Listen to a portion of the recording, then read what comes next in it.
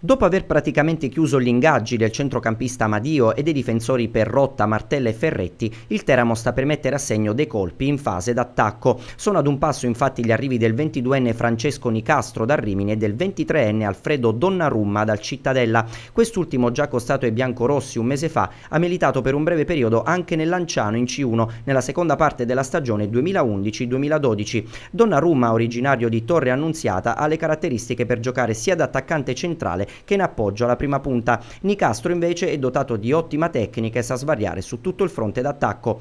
Oltre a Donnarumma e Nicastro comunque il DS Marcello Di Giuseppe segue con attenzione anche altri nomi per rinforzare il reparto avanzato. Per quanto riguarda il terzino destro Joao Ferretti, ventenne italo-francese di proprietà del Milan, c'è da registrare nelle ultime ore anche l'inserimento della SPAL. Il Teramo però è in posizione di vantaggio e conta di annunciare la firma del giocatore entro pochi giorni. Nessuna novità al momento per il ruolo del portiere. In attesa di parlare con il Milan per decidere il futuro di Davide Narduzzo, lo staff tecnico biancorosto sta valutando se affidare l'eredità di Serraiocco ad un under o se puntare su un elemento più esperto. In casa l'Aquila invece il DS di Nicola sta intensificando i contatti per centrare due colpi importanti, uno in attacco e uno a centrocampo. Per il ruolo di punta di peso ed esperienza il sogno è sempre quel Daniel Ciofani, fresco di promozione in Serie B con il Frosinone. L'operazione però è a dir poco proibitiva, soprattutto per la volontà del giocatore di non scendere di nuovo in Lega Pro.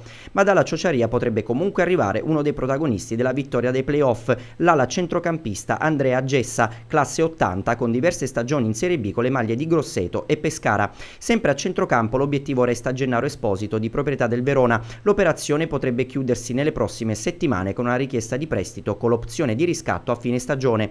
Per quanto concerne il reparto difensivo a meno di colpi di scena, il capitano Marco Pomante dovrebbe restare nonostante le sirene del Matera. Con lui ci sarà anche Gianmarco Ingrosso, a cui però ancora non è stato proposto il rinnovo del contratto. Nelle ultime ore invece appare meno scontata la permanenza di Andrea Zaffagnini, che dopo l'interessamento della dell'Avellino ad inizio giugno è stato messo sotto osservazione da un altro club di Serie B, il Cittadella.